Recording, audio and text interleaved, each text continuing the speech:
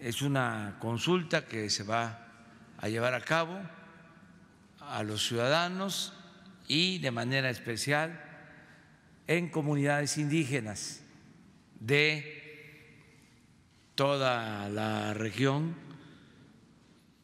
del sureste, incluye Chiapas, Tabasco, Campeche, Yucatán, Quintana Roo,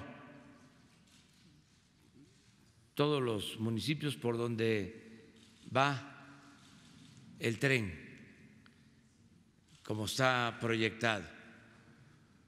Esto es muy importante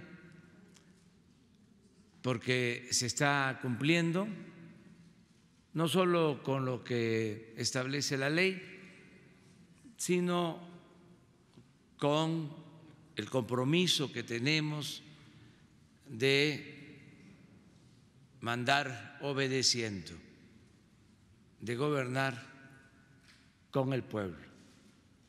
La democracia, lo hemos dicho, es eso, gobierno del pueblo, para el pueblo y con el pueblo.